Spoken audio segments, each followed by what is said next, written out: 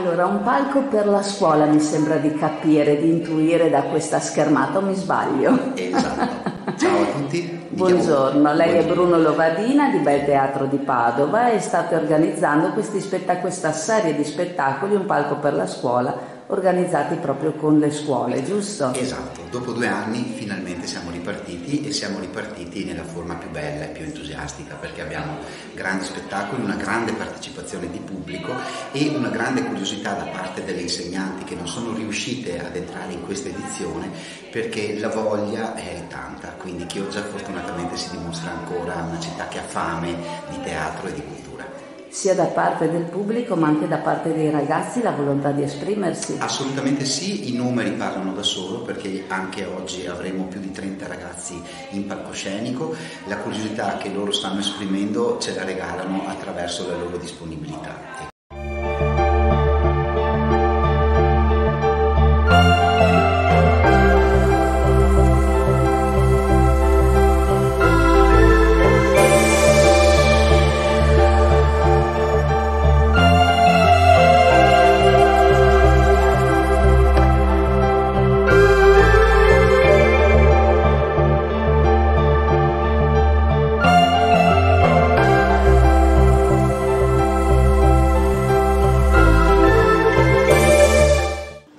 Siamo qui in sala stampa dello stadio Alberdino Ballarin insieme a mister Antonio Andreucci per quello che diventerà una consuetudine, speriamo anche settimana prossima e poi ovviamente anche nella prossima stagione, insomma quello che sarà la presentazione della partita eh, che la squadra dovrà affrontare appunto, ricordiamo domenica alle ore 16 playoff semifinali contro il Campodarsego, eh, si riparte da, da domenica e dalla, da quella partita contro l'Arzignano che però ormai è passata in archivio.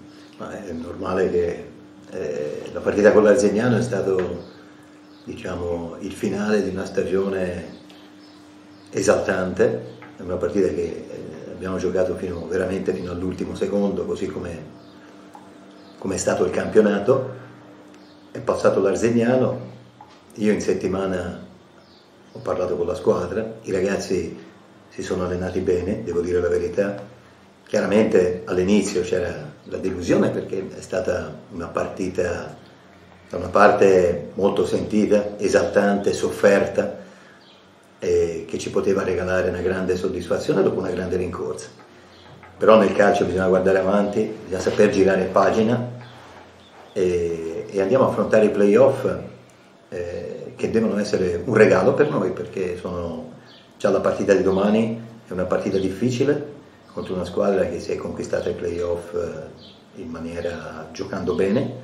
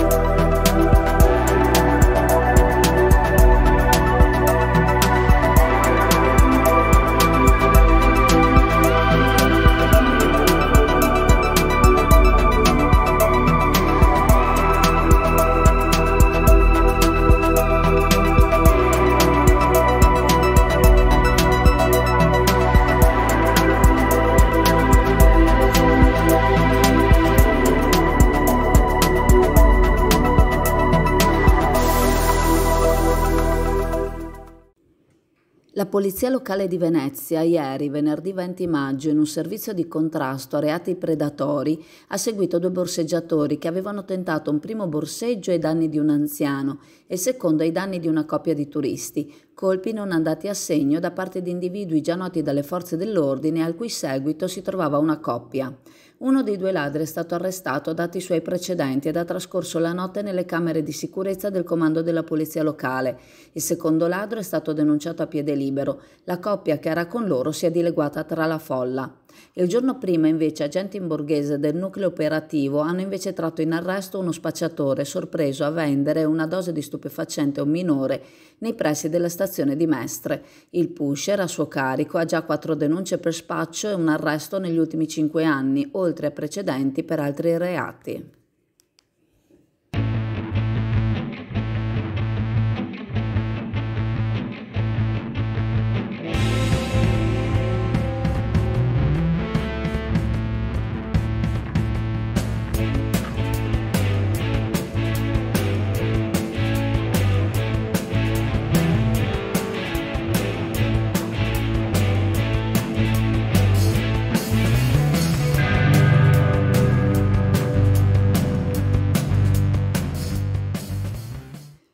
Domani pomeriggio all'Auditorium San Nicolò di Chioggia a partire dalle 17.30 si terrà il concerto per arpa di Giorniei Misic, vincitore del Premio Nazionale delle Arti, quindicesima edizione, nell'ambito della 48esima stagione concertistica della Gioventù Musicale Italiana.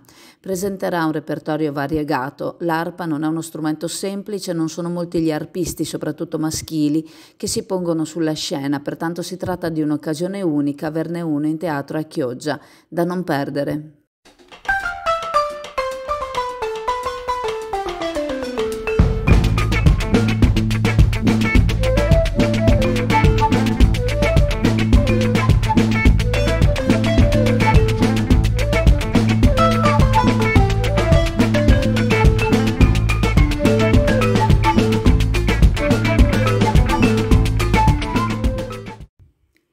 L'US 3 contro il mal di schiena il 25 maggio. Nella giornata gli ospedali con i bollini rosa offriranno una serie di servizi diagnostici e informativi gratuiti dedicati al mal di schiena. Questo solitamente è riconducibile a cause di origine meccanica, ma può essere anche di natura infiammatoria. Lo scopo dell'iniziativa quindi è quello di sensibilizzare la popolazione femminile, che è la più colpita in tutte le fasce di età, verso una corretta conoscenza della problematica. Presso l'ospedale di Venezia, in occasione della giornata, in questi giorni fino al 25 maggio, è attivo un servizio di informazione e consulenza online che consentirà di inviare via mail requisiti relativi al focus mal di schiena al femminile, prevenzione e diagnosi precoce nelle fasce diverse di età della donna. L'iniziativa gode del patrocinio della Società Italiana di Reumatologia, SIR, e dell'Associazione Reumatologhe Donna, REDO.